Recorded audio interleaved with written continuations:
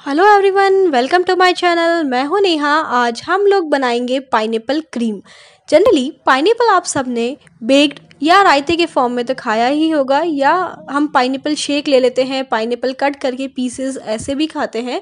आज हम लोग बनाते हैं पाइनएप्पल क्रीम तो चलिए रेसिपी स्टार्ट करते हैं। पाइनएप्पल क्रीम बनाने के लिए ये पाइनएप्पल मैं ले आई थी बाज़ार से, इसको हम बारीक पीसेस में कट कर लेंगे। साथ ही मैं सबसे पहले मैं क्रीम ले रही हूँ। क्रीम के अंदर हम शुगर मिक्स करेंगे।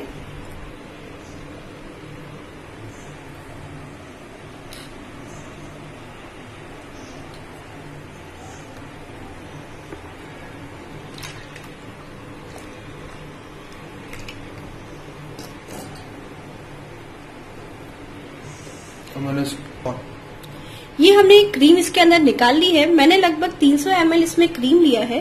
अब हम इसमें मिक्स करेंगे शक्कर। शक्कर आप अपने टेस्ट के अकॉर्डिंग भी मिक्स कर सकते हैं। अगर आपको ज़्यादा मीठा पसंद हो तो आप ज़्यादा शक्कर डाल सकते हैं और कम मीठा पसंद हो तो कम डाल सकते हैं। और एक चीज़ ये भी डिपेंड करती है कि आप जो पाइनएप्पल ले रहे हो, उस पर भी डिपेंड करता है कि वो अगर मीठा है तो हमें शक्कर कम डालनी है। और अगर वो खट्टा है तो उसको थोड़ी देर या तो शुगर सिरप में हम डिप करके रखेंगे तो उसमें मीठापन आ जाएगा। तो अभी मैंने इसमें पाँच चम्मच शक्कर डाली है। अब मैं इस शक्कर को मिक्स करूँगी। अगर आपके पास पाउडर्ड शुगर हो तो भी अच्छी बात है। आप पाउडर शुगर मिक्स करेंगे तो जल्दी हो जाएगा। अदरवाइज़ इसको मिक्स करने में थोड़ा टाइम लगेगा, लेकिन ये भी अच्छे से मिक्स हो जाएगा। जब तक हम क्रीम को फेंकते रहेंगे और शक्कर मिक्स करेंगे। तो हमने ये क्रीम में शक्कर मिक्स कर ली है। साथ में मैंने पाइनएप्पल को कट कर लिया है। इसके जो कांटे थे, वो हमने साइड से निकाल दिए हैं। बस इस चीज़ का बहुत ध्यान रखना।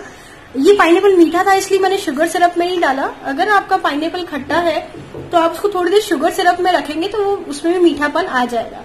तो अब बस हम इसको इसमें मिक्स कर देते हैं।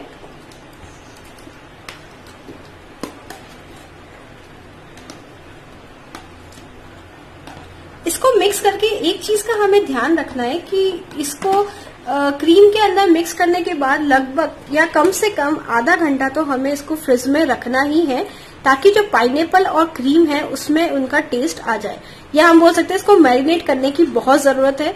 अदरवाइज़ वो टेस्ट नहीं आएगा। ऐसा लगेगा सिर्फ़ पाइनएप्पल के ऊपर क्रीम लग चुका है। जब हमें चाहिए कि क्रीम में भी पाइनएप्पल का फ्लेवर आए या टेस्ट आए तो हमें उसको लगभग आधा घंटा ज़्यादा रखोगे तो बहुत ही अच्छा टेस्ट आता है। तो ये देखिए।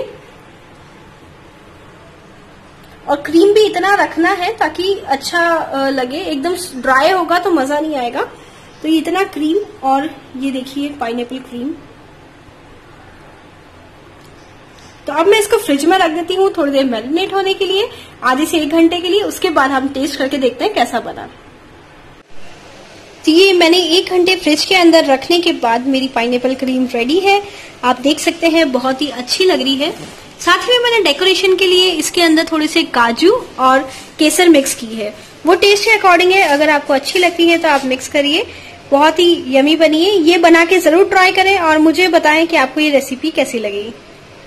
थैंक्स फॉर वॉचिंग उम्मीद है आपको ये रेसिपी पसंद आई होगी। Please do like share and subscribe my channel